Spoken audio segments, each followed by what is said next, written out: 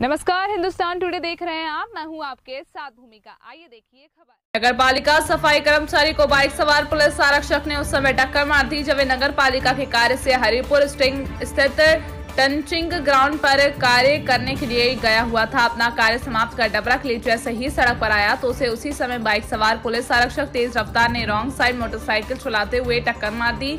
Bike की टक्कर से नगर पालिका कर्मचारी की मौके पर मौत हो गई। हालाँकि धाकिरों की सूचना पर एक एंबुलेंस मौके पर पहुँची, जिसे उपचार के लिए सिविल अस्पताल लाया गया है, जहाँ डॉक्टरों ने उसे मृत घोषित कर दिया। वहीं पर सफ़ाई कर्मचारी सुरेश वाल्मीकि ड्यूटी के दौरान नगर पालिका परिषद डबरा के कार्य से टंचिंग ग्राउंड पर कार्य करने के लिए गया हुआ था। उसी समय घर लौटते समय सड़क पार करते हुए उसे तेज गति से मोटरसाइकिल चलाते हुए परशुराम पुलिस आरक्षकों की ग्वालियर लाइन में पदस्थ हैं, टक्कर मार दी, जिससे उसकी सफ़ाई कर्मी सुरेश वाल्मीकि घटनास्थल पर ही मौत हो गई। संवाददाता ओम बाबू, प्रजापति की रिपोर्ट।